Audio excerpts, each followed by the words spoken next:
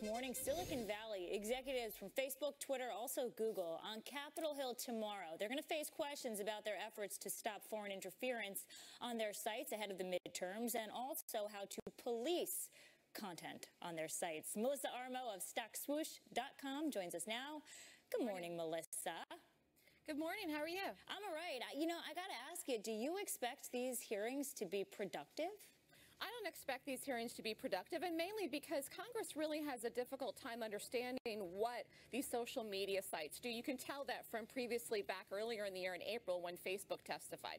So, as far as what's going to come out of this, it's very difficult for any of these sites to really police the content. You have foreign interference in the last election, and now we have the midterms coming up in a few months, and eh, who knows? I really think it's very difficult for them to try to police the content. And then, you know, it goes back to the conversation about censorship. Should they be policing certain things or should they not?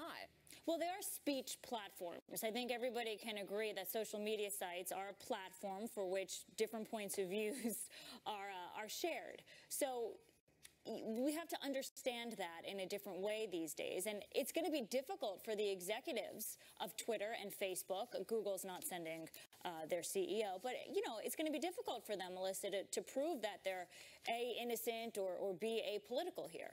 Because well, well, they're, they're, not. They're definitely not. They're definitely not. I mean, they do police the content on there, but that's what I'm saying. I don't think there's any way to stop that. I don't think Congress is going to be able to stop that. They can yeah. have the hearings, they can answer the, ask them the questions, but you got to remember, one of the reasons Facebook stock did so well up until this year, I don't like the stock yeah. the way it looks right now. One of the reasons is they they make money. People put ads on there. They make money this way through advertising, and they've done a good job with that. Twitter has not done that great of a job with it.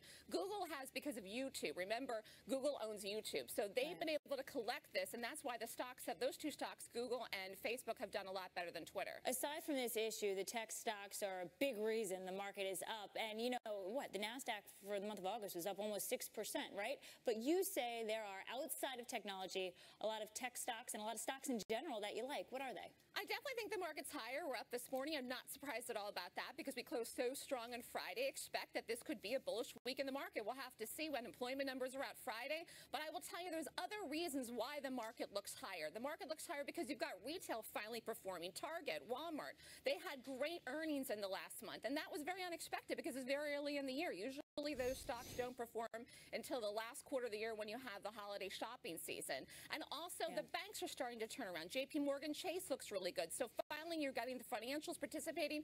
Once you get all the financials participating, Goldman, JP Morgan Chase Citi back up in full-on uptrends and breaking new highs, you're going to see a strong close, I think, until the end of 2018 for the overall market. All right, Melissa Armo, thank you very much. Thanks. Well, NBC